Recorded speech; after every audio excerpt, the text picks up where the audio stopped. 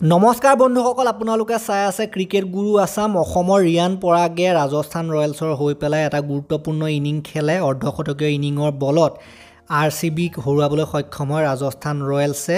ৰিয়ান পৰাগে man of the match জিকিবলৈ সক্ষম হয় আৰু এই মেচ উইনিং ইনিংটো খেলাৰ পাছত তেখেতে কি মন্তব্য কৰিলে এই বিষয়ে আমি চাওঁ আহক। ৰিয়ান পৰাগে কয় যে এতিয়া অলপ সকাহ পাইছোঁ। ৰাজস্থান ৰয়েলছে মোৰ ওপৰত তিনি বছৰৰ পৰা যথেষ্ট বিশ্বাস দেখাইছে আৰু ময়ো অলপ অলপ অৱদান দি আহিছোঁ। মই চাপত খেলি ভাল পাওঁ। খেলৰ মাজত চাংগাকাৰা আহি মোক কৈছিল যে পিটছখনত এশ চল্লিছৰ স্ক'ৰ ভাল হ'ব। শেষৰ দুই অভাৰত আমি ডাঙৰ হিট মৰাৰ সিদ্ধান্ত লৈছিলোঁ। মই হাছাৰাংগাক মাৰিবলৈ টাৰ্গেট কৰিছিলোঁ কিন্তু তেতিয়া উইকেট গুচি গ'ল। সেইবাবে হেজলউড আৰু হৰ্চলৰ বলত টাৰ্গেট কৰি ল'বলগীয়া হৈছিল।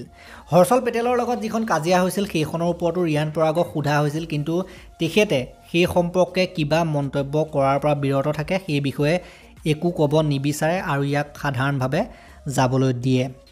চ' এয়াই আছিল ৰিয়ান পৰাগৰ মন্তব্য খেলখনৰ পাছত কেনেকুৱা ধৰণৰ মন্তব্য কৰিলে এই বিষয়ে আপোনালোকক জনাবলৈ চেষ্টা কৰিলোঁ।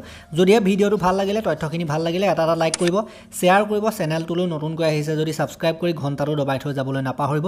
চেনেলটোত ক্ৰিকেট সন্দৰ্ভত আই পি এল সন্দৰ্ভত আৰু বহুত ভিডিঅ' আহি আছে আপোনালোকে নিজৰ ইচ্ছা অনুসৰি পচন্দ অনুসৰি চাব পাৰে। তেতিয়ালৈকে ধন্যবাদ।